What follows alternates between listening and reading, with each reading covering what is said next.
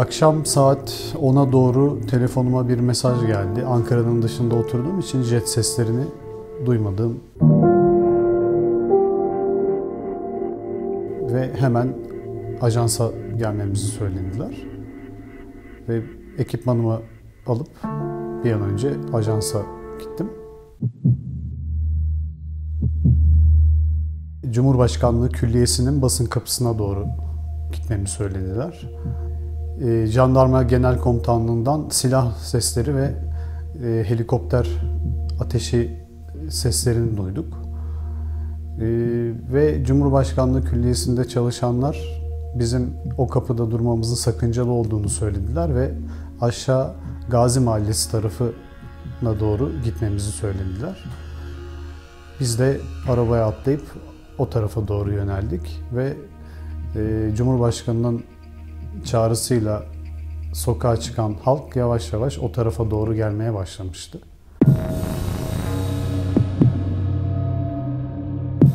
Orada e, tabii ki bir an önce fotoğraf çekip ve bir an önce merkeze geçmemiz gerekiyordu.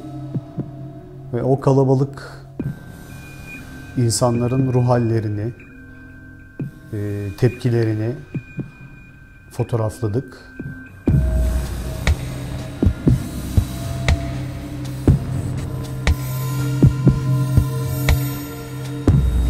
Akşam saati yani gece karanlığı olduğu için çok da sağlıklı bir görüntü elde edemiyorduk ama e, elimizden geldiğince fotoğraflamaya gayret gösteriyorduk bu tarihi anı.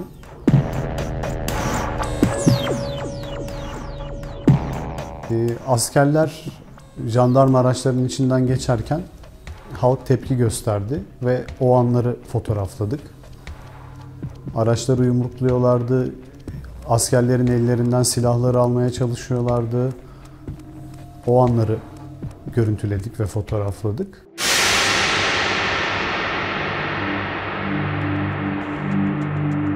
Sabaha karşı ben yukarı tarafa doğru bir nolu Cumhurbaşkanlığı Külliyesi'nin bir numaralı kapısının oraya doğru e, çıktım. Çünkü kalabalıkla külliyeyi daha iyi bir şekilde görüntüleyebilmek için. E, oraya çıktığım anda saat 5 civarıydı. Sabaha karşı 5 civarıydı.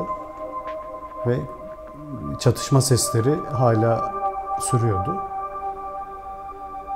Ve bir anda arkamı döndüm. Yürümeye başladığım zaman bir bomba sesi geldi.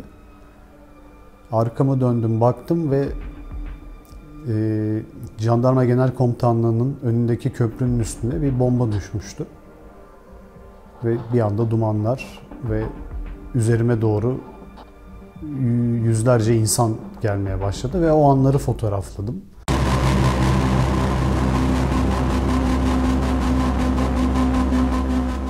Yaralananlar vardı, çığlık çığlığa insanlar koşturuyordu üzerime doğru. Ve 2-3 dakika geçmeden ikinci bomba Millet Camisi'nin önündeki arabanın üstüne düştü.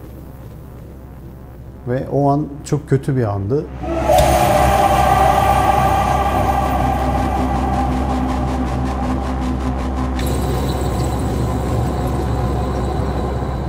Ee, Benim için o gecenin sembolü, çekmiş olduğum sembol fotoğraflardan bir tanesi de sabaha karşı atılan iki tane bombadan sonra görüntülü fotoğrafladığım karelerdi.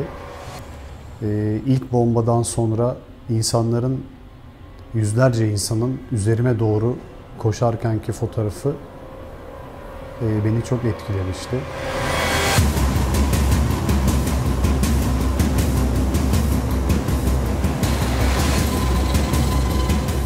Mesleki açıdan e, gerçekten çok zor bir geceydi. E, askerlerin, kendi askerlerimizin o şekilde insanların üzerine ateş açması ve onları e, şehit etmesi, öldürmesi gerçekten e, çok korkunç bir durumdu. Bir daha inşallah böyle bir geceyle, böyle bir olayla karşı karşıya kalmayın.